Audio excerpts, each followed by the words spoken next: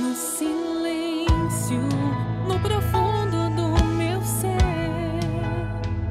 Eu te peço, vem me preencher no.